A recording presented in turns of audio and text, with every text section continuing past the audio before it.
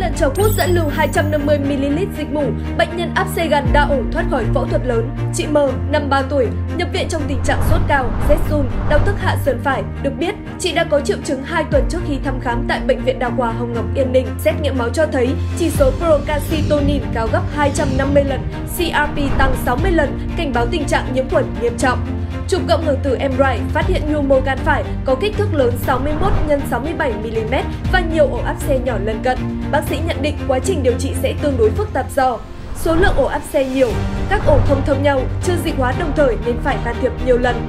Thể trạng của bệnh nhân đặc biệt kém do đã sốt cao suốt 2 tuần trước khi nhập viện.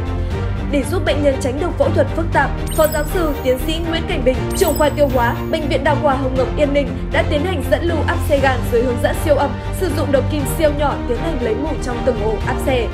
Trong thời gian điều trị, ekip đã tiến hành cho hút 3 lần, dẫn lưu hơn 250ml dịch mủ, kết hợp điều trị nhiễm khuẩn bằng phác đồ nội khoa tích cực, bệnh nhân mở hồi phục nhanh chóng, không còn sốt cao, chỉ số ổn định. Hình ảnh siêu âm gan cũng cho thấy khối áp xe thu nhỏ, gan trở về bình thường sau hơn 10 ngày. Bệnh của tôi đã khỏi hoàn toàn. Tôi rất sốt, khỏe mạnh hơn, ăn có vẻ ngon hơn và um, sức khỏe thì thấy ổn định thấy rõ. Cảm ơn các bác rất là nhiều đã điều trị cho tôi để cho tôi khỏi bệnh được hoàn toàn và đến hôm nay tôi được ra viện.